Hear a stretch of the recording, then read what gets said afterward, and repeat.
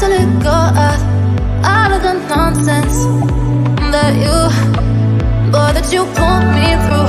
I give it all to you. I do it.